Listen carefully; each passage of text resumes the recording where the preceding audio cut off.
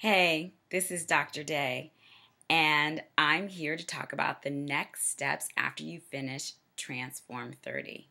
So, we've been doing this detoxification program together for 30 days, and today is day 29. So, you need to start thinking about what are the next steps that you're going to do when you finish.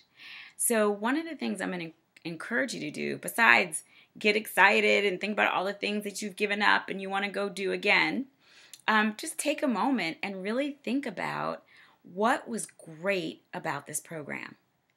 Do I have more energy? Did I do more exercise than I thought I could do? Did I eat better than I thought I could? Did I drink more water than I thought maybe I could? This was so much easier than I thought it could be. Or it was hard in the beginning and it's easier now. So just think about, take some time and just write down, maybe for five minutes, what was really great about this program? What change did you see in yourself? And if you had the luxury of doing it in a community like we're doing it in my community with my patients, you know, what was nice about doing it with other people? What did I learn? And what am I going to take away?